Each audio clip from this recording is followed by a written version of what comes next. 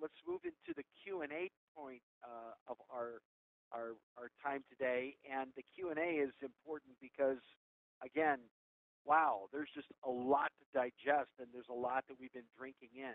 Um, and um, so, um, I guess one of the questions, um, one of the questions that I was thinking about that I would like to ask is, I'm just going to throw this out to the group here, to the presenters, to those who are asking questions. Are there people I can connect with to journey on the journey of my life vision with me? Uh, are, are there people um, that I can connect with, and how would I do that? Does anyone have a, an answer to that?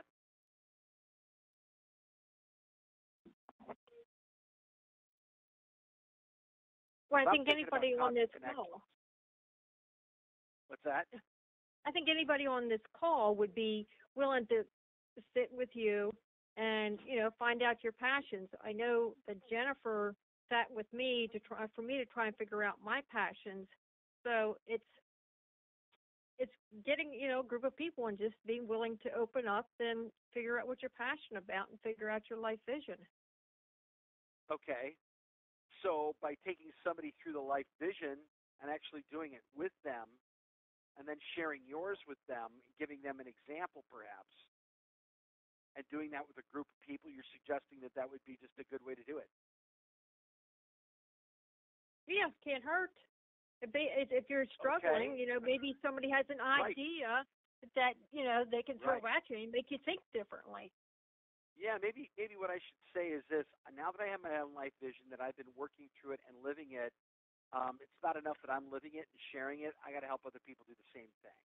And so, what are the steps? And I'm thinking Coffee Connections is a great way to do that. And if you haven't got a Coffee Connections, I recommend you start with it. And I recommend you start with doing your life vision together. But maybe it should just be the, the value of installing systems and understanding or, or just going through the workbook. The workbook is tremendous, and that can help you absolutely kickstart everything into your business. So maybe that's a great way to start. But when you have that life vision and share it and you connect with them, find out what they're really passionate about. You're not talking business, you're not talking what you sell, you're not talking what you build, you're talking life vision. Uh, and then we're talking about specific action steps. Are there any other questions that people have um, before we move on to great things of next month? Yeah, since this is the last one, Kevin, um, Yeah. of this, uh, the last one in this year, I was wondering if people wanted to take, you know, to take a do a dimensional jump. I would. Anyone else do we join us? do we just kick everybody else off then, Kevin? Because I, because you know, if if if you're going in the space shuttle and you're making an atmospheric jump, and you know, Yeah. you you have one, you know, you have one O-ring off. I mean, it can, Ugh. you know, you can disintegrate. It Devast- can vaporize. So I, I, Right. I just I'm a little nervous in just taking you because I don't want everybody else being vaporized. Oh gosh, yeah. Okay, so maybe you should ask that again. Maybe I jumped on too quick and maybe I scared people. I'm sorry. I'm gonna I'm Does- gonna wait. Go ahead and ask. Does anyone want to go ahead and make a dimensional jump at the end of year four into year five? Absolutely. Mhm. Yeah. Okay, so if you don't want to, you know, just put it on pause for about, oh, I don't know, three, four minutes, um, or mute, so you don't hear this because I don't want you being vaporized. So fair warning, don't want to be vaporized. So, Kevin, the most painful experience in your life has been what? Has been the death of my son. Rosanna, the most painful um, uh, event in your life has been what? Losing three children. And so that has tremendous force and power. Like just like how do you go on, you know, with life when those things happen? And so you use that the it's the um, magic atomic ball principle. And so most people when they have painful things happen in their life, they uh run away from it. They put it in a box. They don't address it. They don't embrace it. They don't realize that pain and hurt will always produce energy. We can't control that. It's not a choice. Like Kevin didn't have a choice. Rosanna didn't have a choice on that pain entering in their life. There was nothing they could have done to stop it, prevent it. That energy is going to be there regardless. Our choice is what do we do with that energy? In my experience, everyone's had a most painful experience in their life. When they see people who have had more pain than they have had and have it transform their life forever, like it like they healed quickly or slowly and they figured out how to help other people heal quickly, it motivates and it inspires other people. And so both of you could help everyone else to envision their most painful experience. And then, like with Tanglewood, they have, I don't know, 6,000 architects. Well, architects have pain, they have biggest challenges, what they love help with. And so, if they went ahead and crafted on a box too a story, asking a question and telling a story about how that hurt has come to healing and then to helping. So we go from hurt to healing to helping other people. Like the um, the magic atomic ball principle that Alicia was talking about, where we take those things and we leverage those things. There could be hundreds or thousands of people that could attend the mastermind seminar events.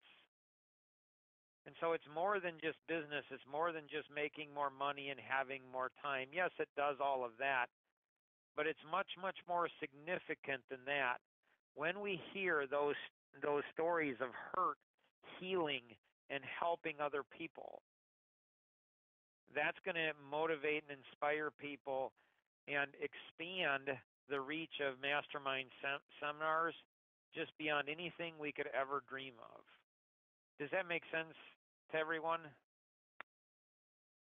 Yeah. What would be the first steps in taking that and and make and how can I help other people um, by sharing my video, by sending it to them, and then with follow up questions to invite them to ask, you know, their pain.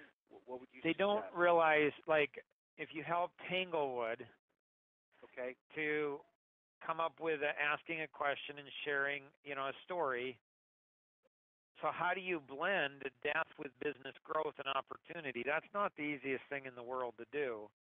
And No. so there needs to be and so can anybody think of somebody who is just a wizardess with words who could take something and put it into magical words that would be an email that would be sent out to all of you know all of their architects all of their Alicia. community all of their past and current clients all their networks. Like what would that be like? Mhm so it's being able to see the talents and the gifts that each individual has has and how do you put them together so alan and nancy have been you know invested you know their a lifetime into building tanglewood conservatories and they want that to go beyond them so how do you take that and then how do you take the 530 grid and you GT it, you golden triangle it. So you've got the targets, and then you develop and deliver a message. That message, there's a high statistical probability that message is the same message that I could use for my business and all the people I know, and that Ski could use, and that Kosovo could use, and that Ed and Lee out in um, out in Reno could use, and Mike and others in Houston could use. I mean, it's something where it's it's truly life changing. It, it like when we say it's a it's like an event you've never been part of before. People don't believe that, and so we need stories. We need a message that'll resonate with people and shake them at the very core and the essence of who they are to say, you know what? it's worth it to check this thing out. Does that help, Kevin? Yeah, it does. Cool. Absolutely, man. Uh, I, I'm and thank you for sharing that. So, do you think we actually took the dimensional jump or no?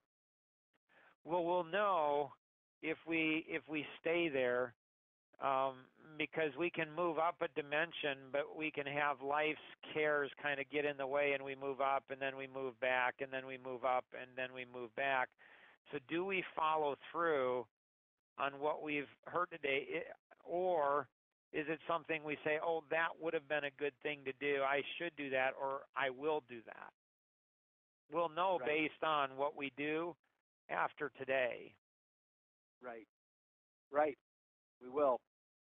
Well, I, I can't thank you enough, Mark. I, I, I, I appreciate that. I appreciate the, the insight to even think about making a dimensional jump from year four to year five, but that's where we need to be. We have to be there.